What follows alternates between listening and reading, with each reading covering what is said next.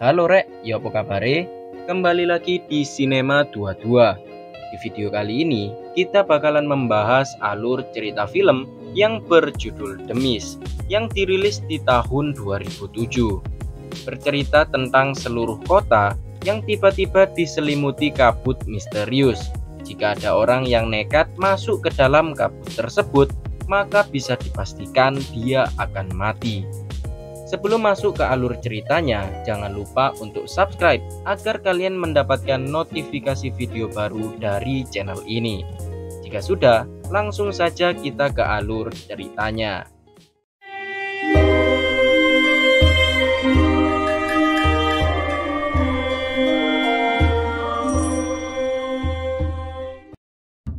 Film diawali dengan diperlihatkan seorang pria bernama David yang merupakan seorang pelukis terkenal. Namun David yang sedang asyik melukis dikejutkan dengan badai disertai petir sehingga membuat pohon di depan rumahnya roboh menghancurkan jendela rumahnya. Keesokan harinya betapa terkejutnya David ketika melihat keadaan di luar yang sudah porak-poranda diakibatkan badai semalam. Bahkan rumah perahu miliknya juga ikut hancur. Gunung di seberang rumah David juga terlihat kabut tebal, yang biasanya tidak ada kabut di sana. David kemudian mengecek tetangganya bernama Norton, yang merupakan pengacara cukup terkenal dan disegani oleh para penduduk. Norton juga merasakan dampak dari badai semalam, yang membuat mobilnya rusak tertimpa pohon.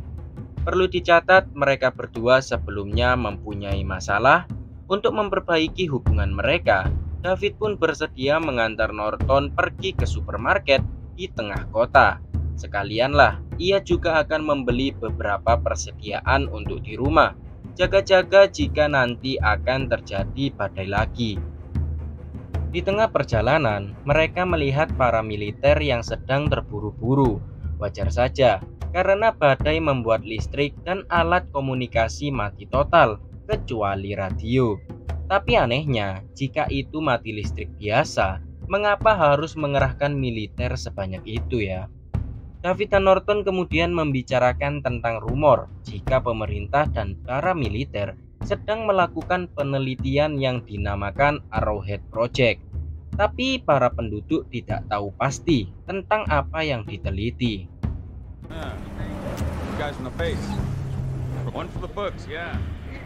For a moment there last night. Missile defense research, you know, I'm sure you've heard.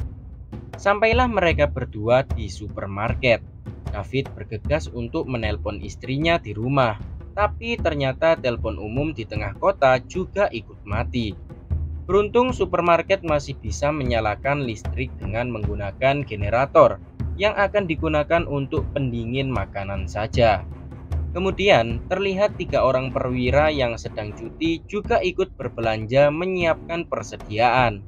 Tak lama kemudian, seorang polisi militer datang dan menyuruh ketiga perwira tadi untuk segera bertugas dan membatalkan cutinya.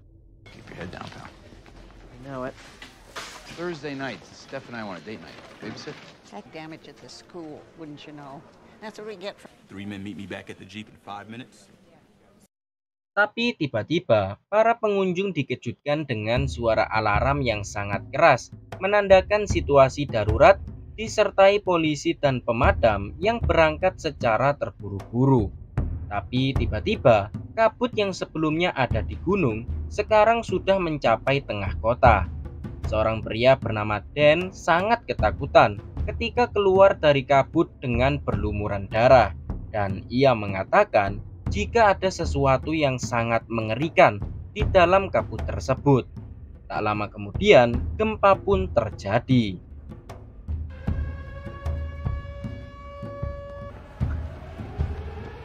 Oh my god. Doors.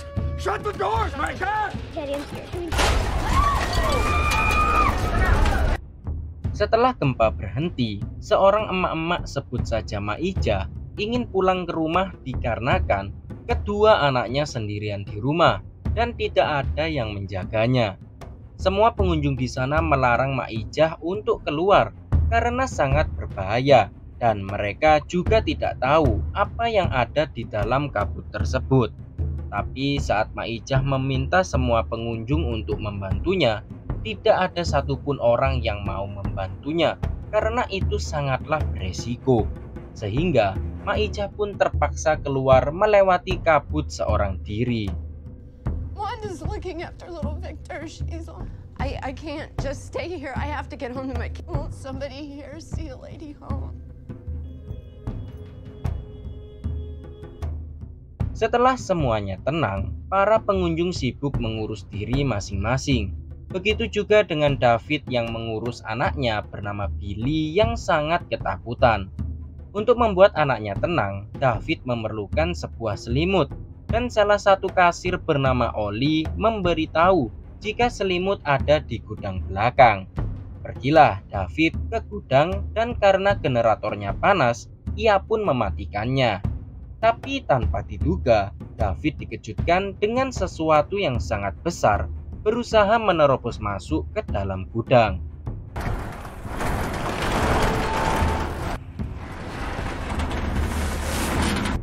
Hal tersebut membuat David sangat panik dan memberitahu orang yang hendak mengecek generatornya. Tapi perkataan David tidak digubris sama sekali dan menganggapnya sebagai kayalan David. Nobody else heard that sound? What sound? You had a scare, no doubt. What say we all go? Si teknisi bernama Jim mengecek generatornya yang panas diakibatkan tersumbatnya lubang di ventilasi. Oleh karena itu, mereka berniat membersihkannya lewat luar dan pegawai junior bernama Norman bersedia untuk keluar. Tentu saja hal itu dilarang oleh David karena sesuatu yang besar baru saja mencoba menerobos masuk. Tapi lagi-lagi perkataan David tidak digubris sama sekali. Jim, right? Myron? Next time you got something to say, you count your teeth. Nor do I like being talked down to or called stupid by Benar saja, saat pintu dibuka, tiba-tiba sebuah tentakel raksasa menarik Norman. Tentakel ini bukanlah tentakel biasa, yang ternyata terdapat sebuah duri tajam di sela-selanya, yang membuat Norman terluka sangat parah. Jim yang sebelumnya menganggap David ngayal, sekarang hanya bisa diam saja dan terlalu takut untuk menolong.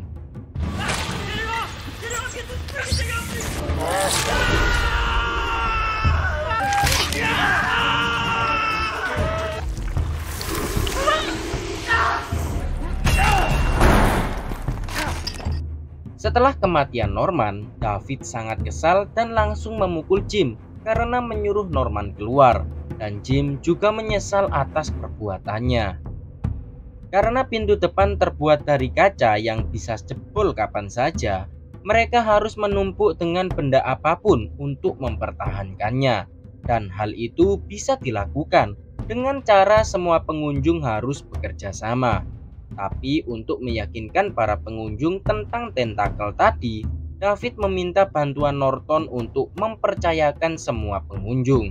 Tapi Norton menganggap jika itu adalah hal konyol karena mana ada tentakel raksasa dan ia menganggap David akan mempermalukannya lagi di hadapan semua orang. And I'm glad that tree your boathouse. You know that? Glad. What reason could we possibly Oh, have? please! I'll sue your ass again! Sue your ass! And this... Perkelahian mereka berdua menarik perhatian, sehingga si manajer bernama Tom juga tak percaya cerita dari David. Untuk membuktikannya, masuklah Tom melihat tentakelnya yang masih menggeliat.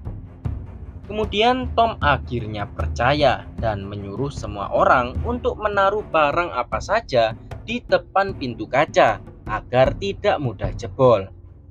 Satu pengunjung bernama Nyonya Carnoti yang sangat religius ketakutan. Melihat kondisinya, seorang wanita bernama Amanda memberi bantuan untuk menjadi teman curhat. Tapi Nyonya Carnoti malah menghina Amanda dengan kata yang sangat kasar.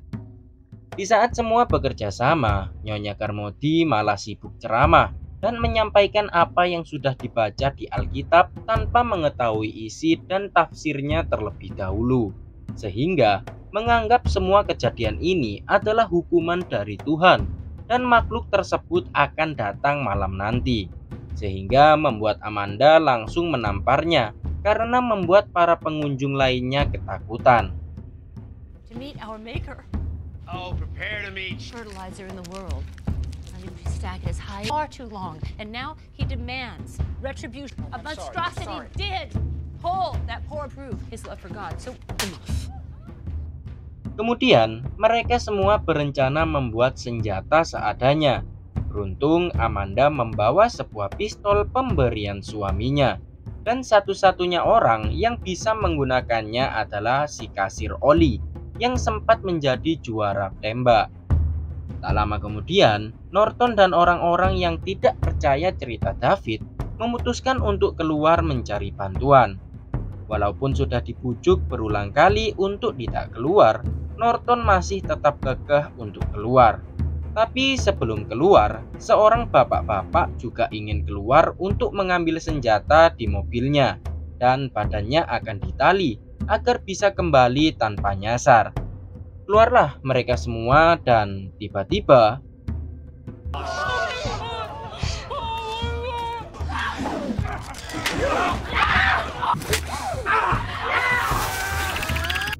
Ya, mas-mas yang berniat mengambil senjata kembali dengan setengah badan dan tidak perlu ditanya lagi keadaan Norton. Ya, sudah pasti sudah mokat. Malam pun tiba, seorang pria yang sedang mengawasi dikejutkan dengan serangga raksasa yang tiba-tiba hinggap di pintu depan. Tak hanya satu, ternyata banyak serangga serupa yang berdatangan. Tak lama kemudian, hewan yang lebih besar tiba-tiba datang menangkap serangga yang lebih kecil, sehingga membuat kaca hampir pecah. Sadar jika serangga tertarik dengan cahaya, David mencoba mematikan lampu, tapi semua sudah terlambat. Kaca depan sudah terlanjur pecah dan membuat panik semua orang.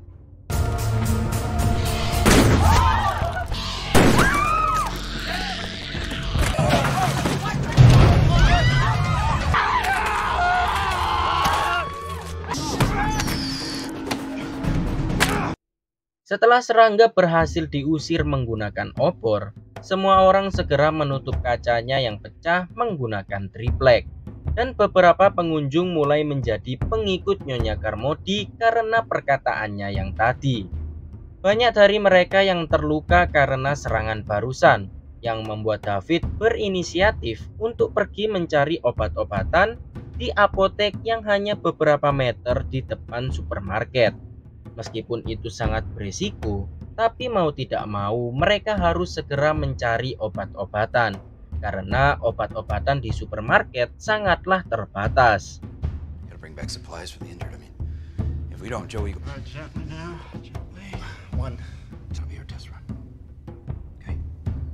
People are basically good, decent.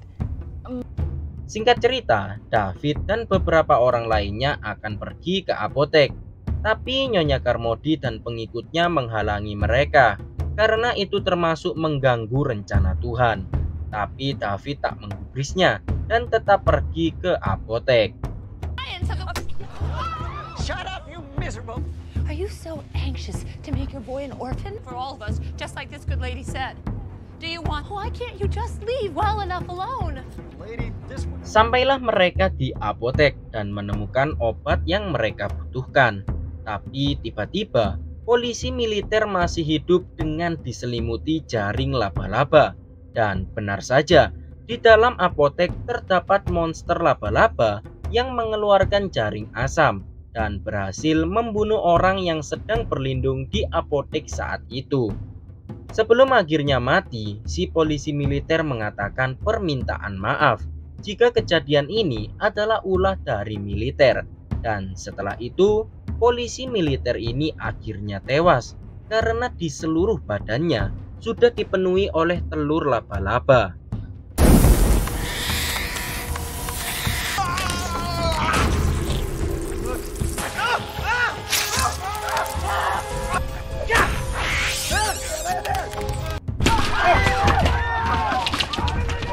Mereka semua akhirnya berhasil keluar dari apotek mengerikan tersebut, meskipun beberapa dari mereka harus tewas.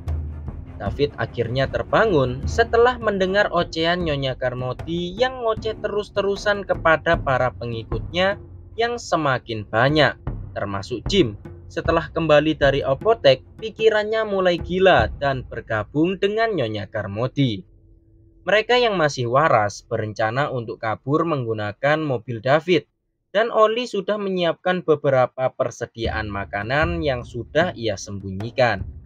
Setelah itu, mereka menyadari perkataan dari polisi militer tadi yang meminta maaf, dan David segera menanyakannya kepada perwira di sana bernama Jesup.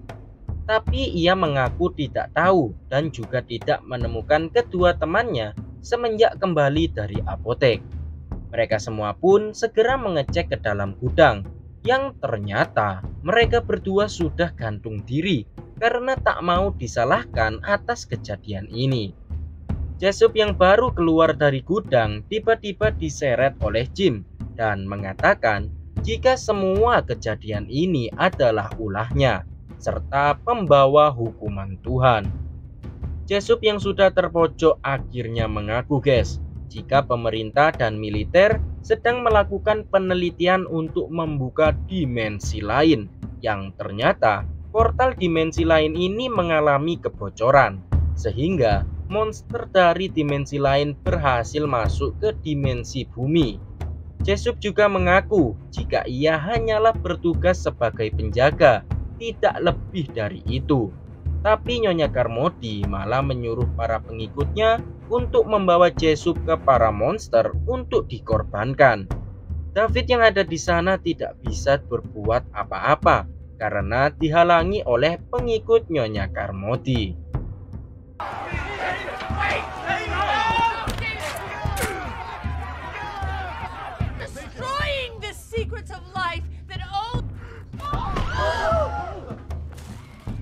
Setelah kejadian tersebut, David beserta lainnya yang masih waras mengendap-endap pergi keluar. Namun sayangnya Nyonya Karmodi sudah menunggu di depan dan sudah mengetahui dari awal. Dengan segala ocehannya yang sangat menyesatkan, para pengikutnya ini percaya-percaya saja. Hingga akhirnya, Nyonya Karmodi ingin mengambil Billy untuk dikorbankan ke para monster, sehingga David harus sekuat tenaga menghalangi para pengikut Karmodi agar anaknya selamat.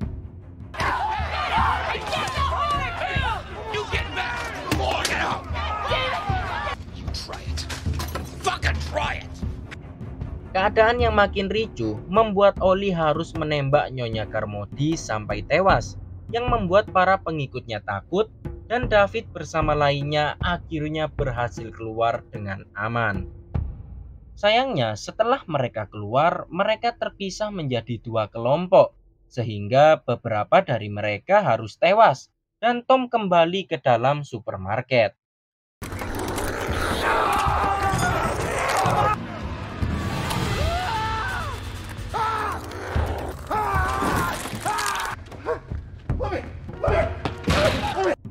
Hanya tersisa lima orang di dalam mobil dan David akhirnya segera pergi meninggalkan semua orang gila yang ada di dalam supermarket.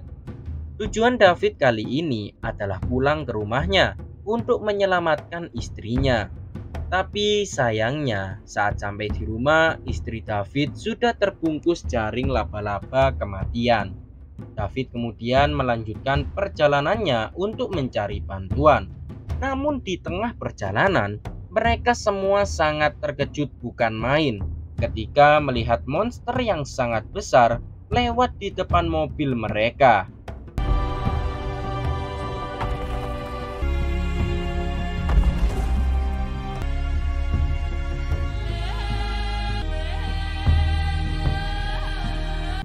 Setelah perjalanan panjang, mobil David kehabisan bensin. David yang sudah menyerah akhirnya memutuskan ingin bunuh diri. Peluru dari pistol hanya tersisa empat peluru yang mengharuskan David menembak semuanya, termasuk anaknya sendiri. Setelah semua tewas, David pun keluar dan menyerahkan dirinya kepada monster yang di dalam kabut. Tapi alangkah terkejutnya David jika anggota militer sudah datang membereskan semuanya. Bahkan, Maija yang sebelumnya keluar sendiri berhasil selamat bersama kedua anaknya. Melihat hal tersebut, David sangat menyesal atas perbuatannya. Coba saja David bersabar dan terus berjuang pasti anaknya tidak akan mati. Setelah itu film pun berakhir dengan membagongkan. Itulah guys alur cerita film Demis. Bagaimana? Seru bukan?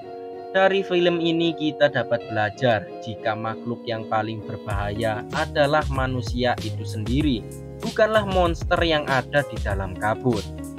Untuk kalian yang suka channel alur cerita film, jangan lupa like, komen, dan subscribe, serta nyalakan tombol loncengnya guys. Terima kasih yang sudah menonton, sekian dan sampai jumpa.